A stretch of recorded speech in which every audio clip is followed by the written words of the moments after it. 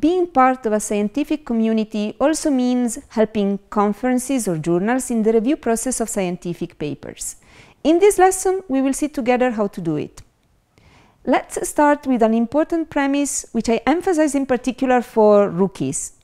Reading the paper from the beginning to the end is not necessarily the best strategy, particularly in the technical scientific literature, which tends to be well organized and structured, although it seems the obvious thing to do.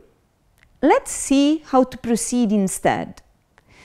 Start from the abstract, asking yourself these questions. What is the paper about? Naturally, the general theme or at least the sector should already be known because they are defined by the publication venue. We will hardly find a bioengineering article at an educational technology conference, of course. But having said that, it is important to identify the specific topic the paper is about. Secondly, we need to ask ourselves if the abstract is clear and entails all the main elements of the article. Because the abstract is meant to convey the marrow of the work. If that's not the case, and it looks like an introduction instead, or even worse, a sort of meta description, this is definitely one of the things to report to the authors. What do I mean by meta description? I mean a sort of index, something like then the method is explained and later on the conclusions and important application of the research are discussed. This is how the abstract should not be. Finally, we must ask ourselves whether the goal of the article is relevant. Is it worth reading it? You can find well-written articles that are fragile from the point of view of relevance. I remember an article on digital storytelling at school, a field I work on. The article asked the question, is digital storytelling at school an engaging activity? Though the article was well written, the question is not particularly relevant for two reasons. One, the issue has already been amply demonstrated. Two, since it is an issue of educational technology, the educational potential of the activity should rather be discussed engagement is fine. But are there substantial educational benefits as well? After looking at the abstract, I suggest you go directly to the conclusions. Yes, I know it's a nice leap, but it's a good one. Let's start with the questions concerning the subject matter. Are the results relevant? This is the fundamental question. A good research question is not enough. The results must also be important for the paper to be worth publishing. The next question is, are the results original? Do they advance the state of the art on the subject? And the last question concerns the cohesion of the paper instead. Are the results in line with the abstract? This is a question about the paper's architecture, so to speak. I've noticed that even in an article, you can find a technique that is typical of a completely different sector, that of screenwriting. This technique is called setup payoff. When an element is inserted, setup, this must have its own outcome, an explanation, a conclusion, a development. It must not hang loose, so to speak. If the article proposes two research questions, then the two research questions must be taken up in the conclusions and addressed properly. Sometimes conclusions entail other results and issues which have been discovered on the way. This is fine, of course, but the two research questions must not be forgotten. Anything else is welcome but it is more. It seems obvious, but it's a very common mistake to insert setups forgetting their payoff. After having seen the abstracts and conclusion, it is necessary to identify the section where the goals of the work are expressed. in a more extended form than in the abstract, of course. Similar questions are asked again. Are the goals relevant? Are they clear? And are they consistent with the abstract?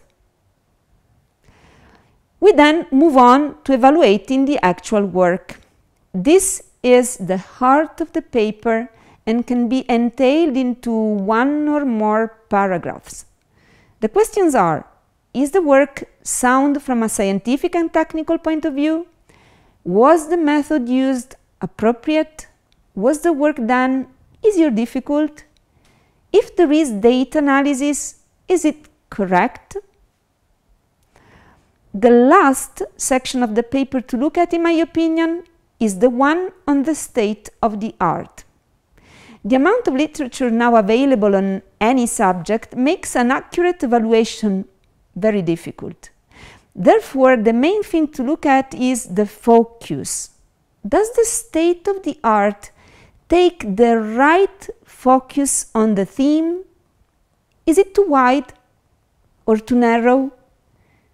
I've noticed recently that the flow is to make state-of-the-art sections too large, given the ease of finding tons of literature on anything. A state of art that is too large is almost useless. Instead, it must be to the point.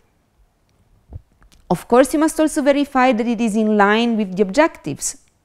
Still recalling the article I mentioned on digital storytelling, its theme was collaborative digital storytelling, but in the state of the art section, there were no references on this specific organizational form, in spite of the fact that in literature, although not many, they are present. Last but not least, communication quality. Is the paper well structured? It is useful to read the sequence of paragraphs without reading the text to see if they are coherent and convey the development of the reasoning. Is the text accurate? Are there any errors? Are the figures readable, even if you print in black and white? We can now get to the final tips on how to review a paper. If abstracts and conclusions are excellent, then there's a strong possibility that the paper is excellent. The section on the work carried out should be verified so as not to be cheated. If abstracts and conclusions are bad, you can generally avoid reading the rest. A quick check should suffice. If abstracts and conclusions are so and so, then roll up your sleeves. You have to read everything carefully. But in any case, the paper is not very good. We close with some notes on how to communicate the results of our analysis. What to say to the authors? In Italian, there's a saying that says, Every cockroach is beautiful for his mother. Remember to make constructive and not rough criticisms. Don't offend the authors. At the same time, don't be too scrupulous. The reviewer's main role is to guarantee the scientific quality of what is published, so no mercy. If a paper is not good, it's not good. What to say to the scientific committee? It is often a separate field in the review form which the authors do not see. My advice? Tell the truth. If the article is not good, it's not good. If it's very good, there's almost no need to tell. The publisher will see it from the review to the authors.